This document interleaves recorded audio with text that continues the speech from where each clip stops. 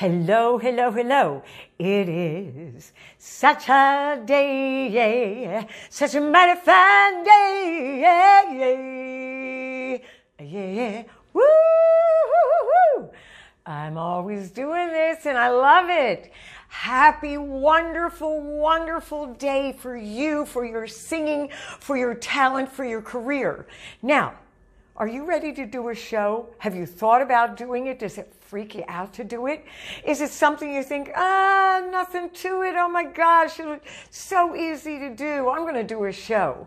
Well, I'm going to talk about you and your show and about songs that you would choose, about how you would enter on a stage, about how you prep for a show, what to think, what not to do, what to do, okay?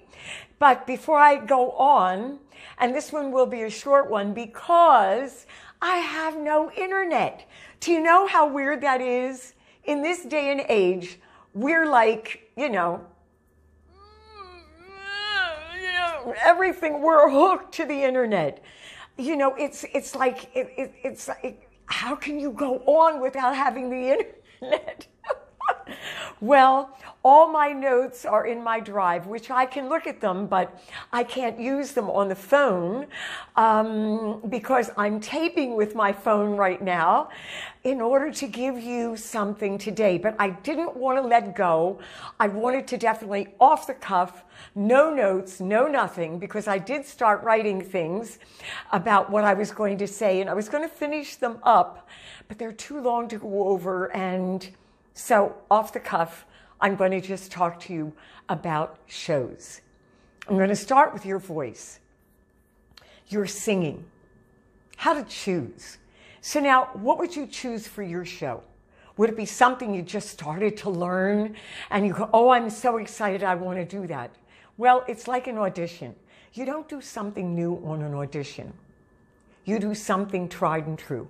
You do something that you know will work that you've worked at, you've tried, you've done. You got to have that in your pocket. Same thing with a show. You need to definitely have rehearsed this song. You know it. You're not going to be tripped up by something happening because you know things do happen in a show. Somebody drops something, they, they grab your attention. All of a sudden, you, oh, and you have a glitch the tensions are high. What if an agent is in the audience? What if it's a big crowd and it's a big venue that you're at and you're excited, you're nervous? You gotta have stuff that you have really, really practiced. Pink, Michael Jackson. There's so many artists. They worked so hard, worked and work at their craft, but they don't go out there and just oh, I'm going to do a new number. No, they rehearsed and rehearsed time and again.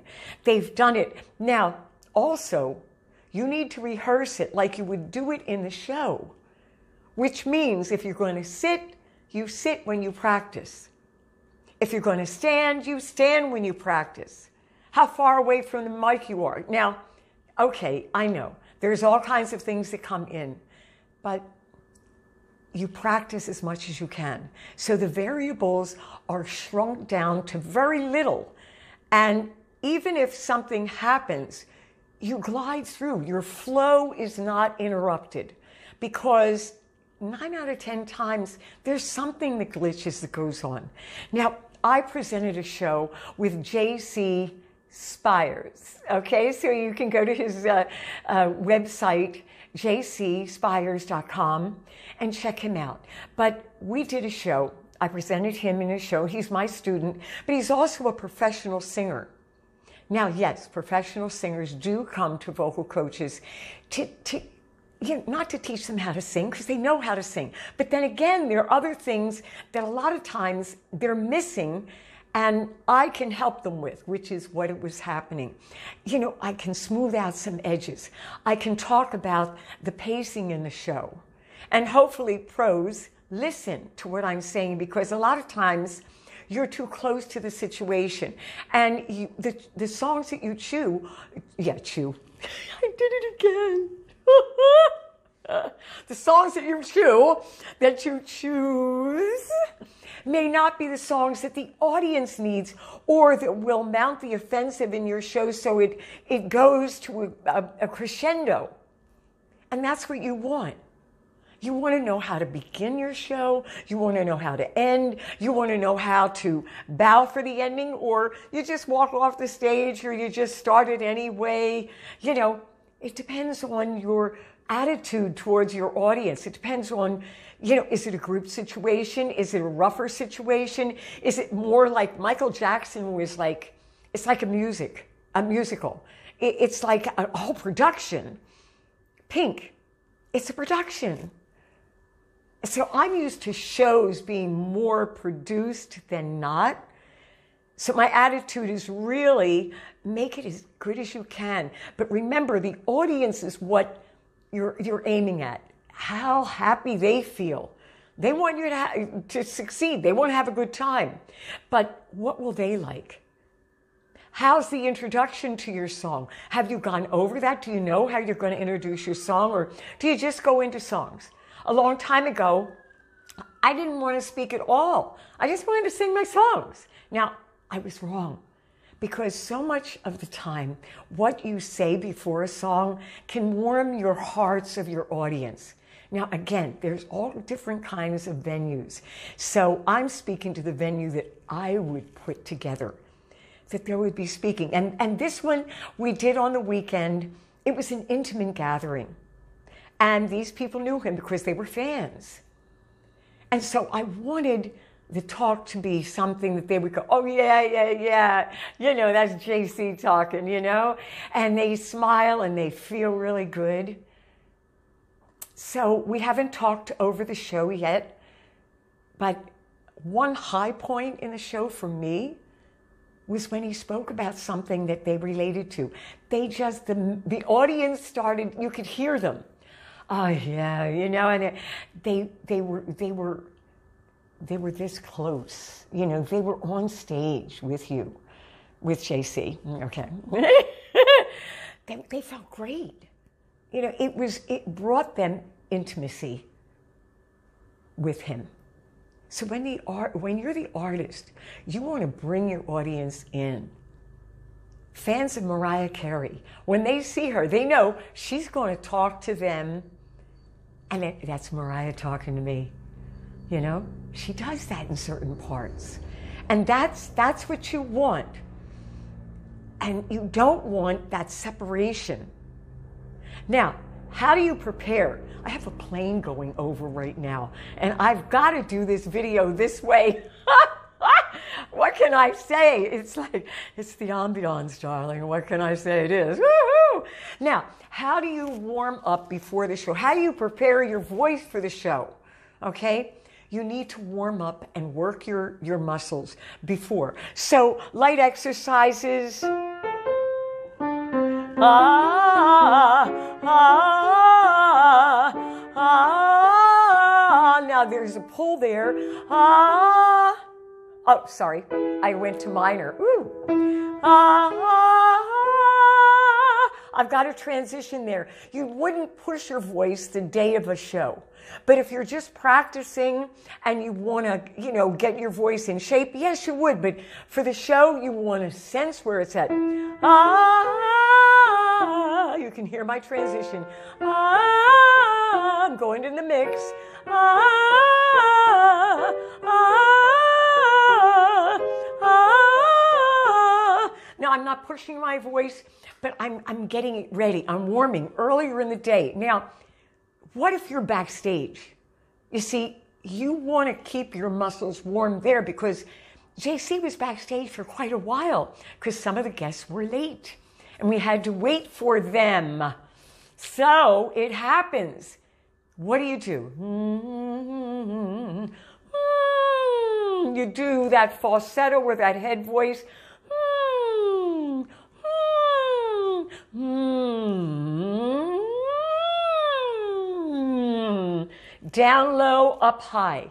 So you don't just sit there and get cold because that's what happens. You do get cold when you're backstage and you've got to keep your body warm. Notice the runners, what they do. They're, they're, they're like getting ready. You've seen the Olympics or some of you have. And they're, they're shaking their legs because they're going to run. I was a runner, so I go to running, okay? They don't just stand there they keep their body ready. So you don't want to be cold when you first come out on the stage. You want to be up and pumped. Now, in relationship to your personality, you don't want to, hey, here I am. You know, that's not you. Hey, here I am. Or, yeah, we got this show for you. You know, hey, all these different sounds or the, you know, that exemplify who you are. That's the attitude of your body. So backstage, you got to do what preps you for your show. Everybody's different. And I always say a cocoon. You need to have a cocoon around you and have your personality. Now, some artists have a, um, an image, an, an alternate person. Okay, then get into that and bring that into you. And remember the first words of the song. Because you know how many artists have forgotten the first words of a song they've sung forever when they're under pressure. It's happened, okay? So just remember the first words of your songs, just go over and think about your audience. Prepare mentally. Think about your audience and how much they want to have a good time. They want you to have a good time. And prepare yourself, okay? Prepare yourself mentally. They really want to have a good time, and I'm going to give that to them because this is a gift, okay? So now I know I've mentioned some of these things in other videos. I can't remember which ones they are, but I've mentioned some of these things before.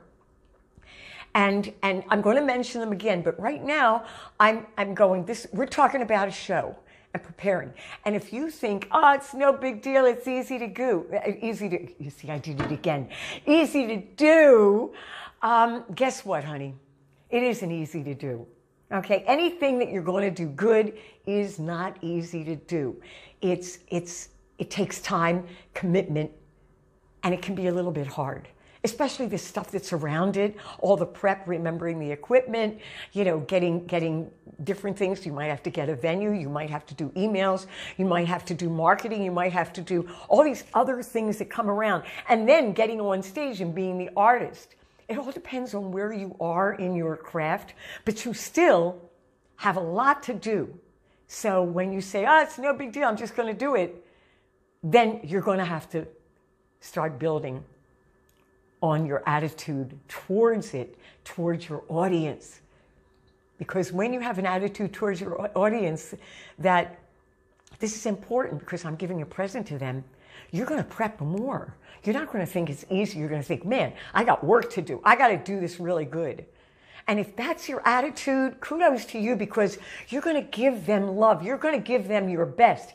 That means that you have already practiced your songs. You know them inside and out because when the pressure happens, ah, you know, the freak, oh my gosh, I forgot the words.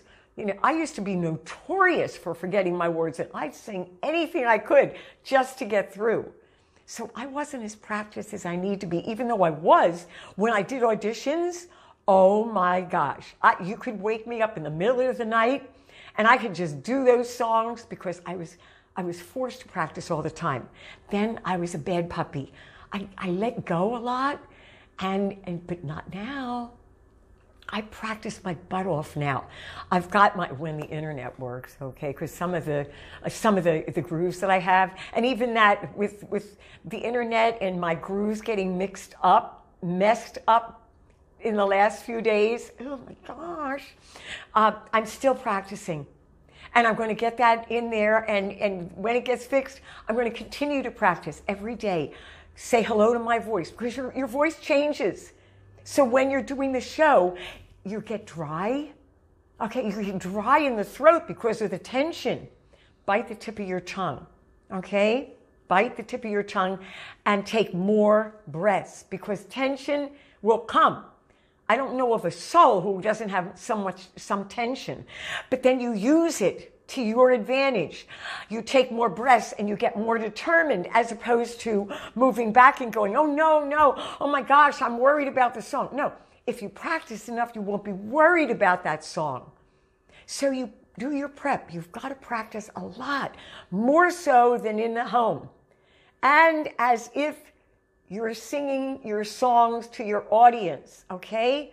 That means sitting, like I said, then you sit, standing, then you stand.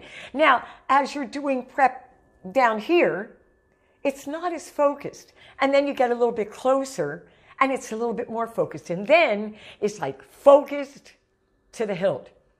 It's, it's on. You run your show and see where you're at. Choosing the songs. Don't be changing them at the last minute. What, what, what do you think you're doing? You don't change them at the last minute, okay?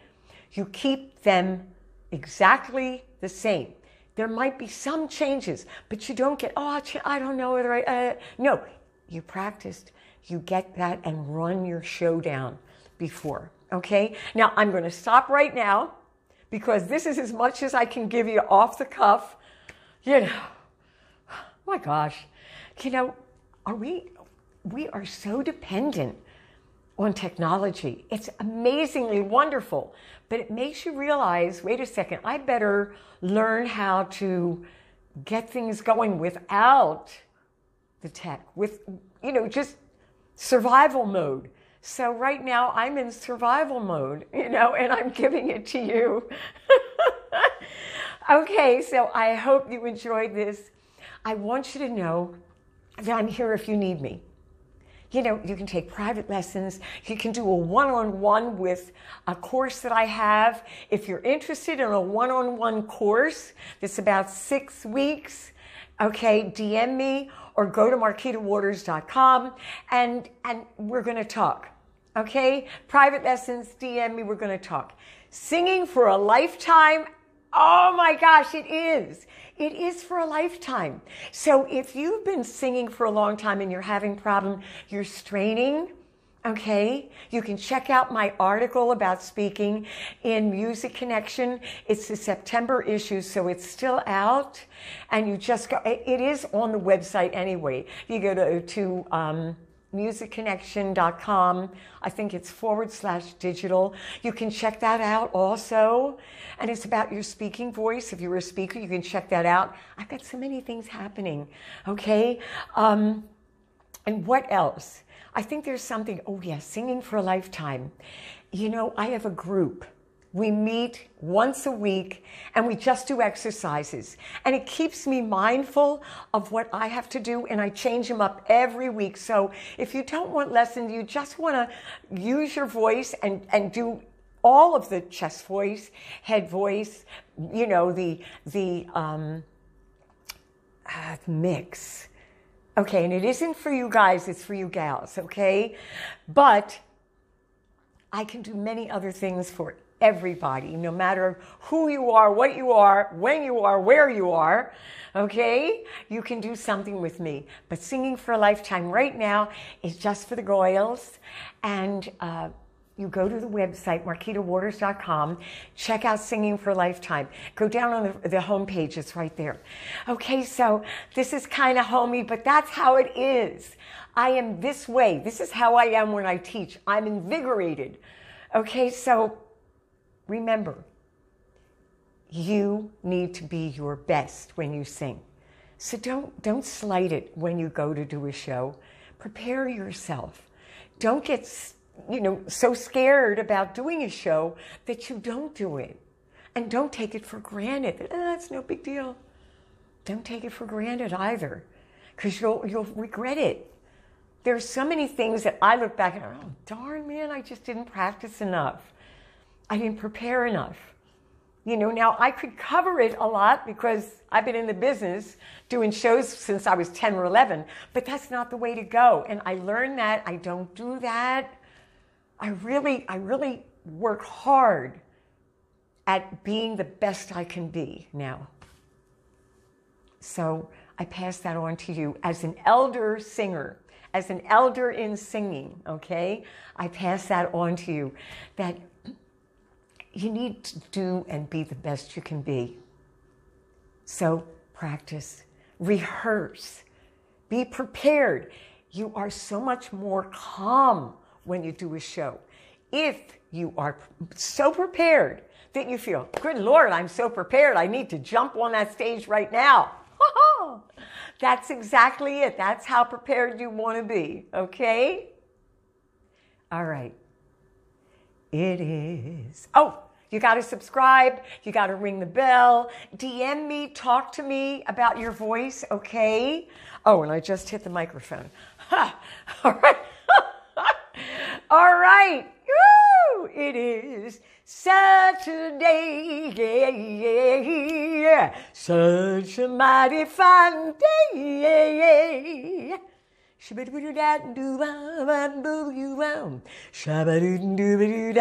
Yeah. I'm having fun. All right. Bye bye bye bye bye bye bye.